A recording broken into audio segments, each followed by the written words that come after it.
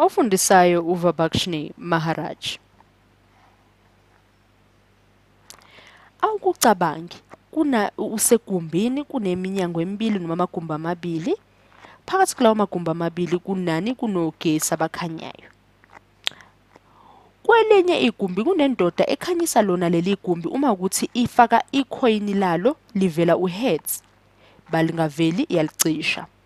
Bakuvela uthele yalicisha ngale kwelinye igumbi kunowesifazane olikhanyisa alicishe ilambu lakhe yena. Ngani? Kuya ngokuthi isikhathi usesibona sesingcono sokuthi akwenze lokhu.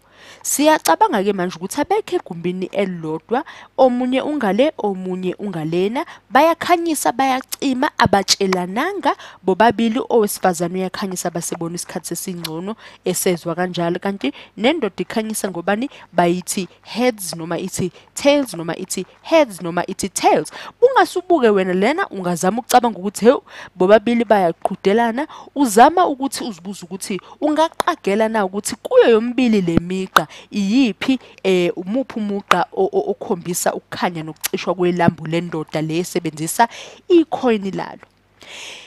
Bese ngiyakutshela ukuthi kungenzeka ukuthi ungakwazi ukuthi uqagele ukuthi kuphi kodwa ke ungalahleki njengabaningi abafuna ukuthi baqagele ngane ngokucabanga ukuthi ho kuleli lendoda bekuxhuma o0 kakhulu kulo wesifazane bekufukani owabani?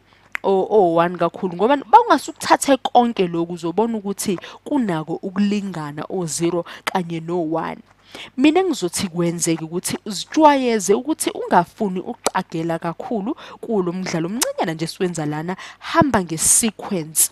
Uyabona isequence izokufundisa ukuthi ayikho into ethiwa yi-lucky number inamba ebusisekile. Ayikho into ethiwa yi-lucky sequence isequence ebusisekile. Kodwa konke kuyenziwa ngoba uma uthatha icoin udlala ngalo maningi amathuba okuthola uheads no tail